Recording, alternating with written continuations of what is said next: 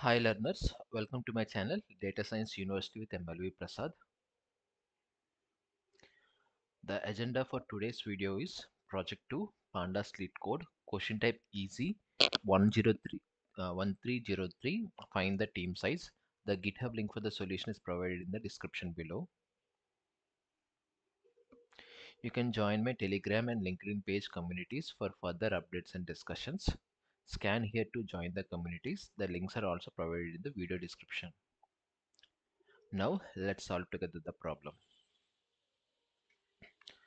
Okay, they have given some employee table where an employee and is belonging to which team it has been given. Now what they have asked, write a solution to find the team size of each of the employees. Okay, let me copy it here.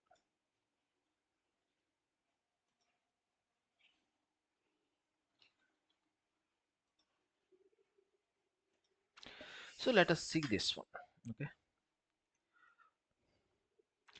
we can see that the one, two, three guys are one team, four is one team, 5 6 are one team okay?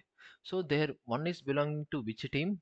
8 2 is belonging to which team? 8 3 is belonging to which team? 8 so in the team 8 how many number of people are there? 3 3 3 4 is belonging to 7 okay in 7 how many teams are there? Only one. In 5 it is belonging to 9 6 it is belonging to 9 and 9 how many teams are there? 2 so 2 that is what our output it is. Okay so it's very simple. Okay. First of all let us calculate this as a. Let us call this table as a table. Next let us calculate b such that for each team id how many times it is repeating okay? For example 8 count 3 7 count 1 9 2 so this will give us for each team id how many number of teams are there okay? Now if we connect these two tables using team id and team id you will get the respective employee id and also team size. That is what we require here okay? Very simple. Let me code it up so s1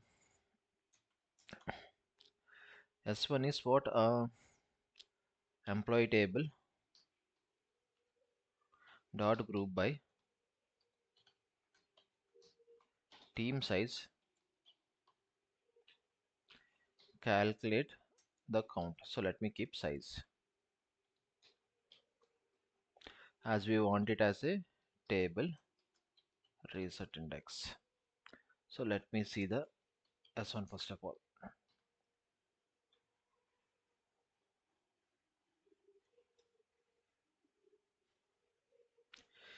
Teams okay team id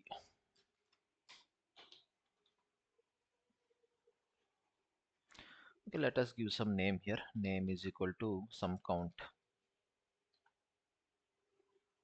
so each team how many times it is being repeated we got it. Now what we need to do the employee table and the s1 table i will connect it up. So my step 2 would be connect the s1 table s1 table with employee table. How it should be connected? Only matching rows. So inner join. And what are the columns? Left side should be team id right side is equal to team id let us let us call this as step 2 step 2 let me just see the code. Okay. Okay employee okay it should be merged right as we are doing joining of two tables i need to keep merge.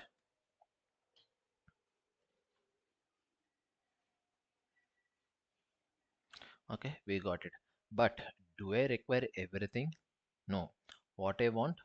I want only employee id comma team size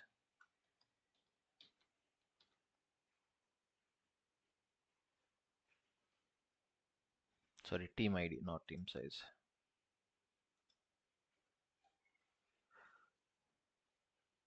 Okay let me call this cd as team size then. So that there will be no error. That's it okay. Our initial test case has been passed. Let me check for all the test cases. Okay, our code query has successfully passed all the test cases and we have solved the problem. If you want the code output code query which I have written here, it will be available in this GitHub repository. The link will be provided in the description below. And if you're further interested in learning data science, analytics, machine learning, NLP, computer vision, and generative AI stuff, please fill in this Google form below. My team will be reaching out to you soon.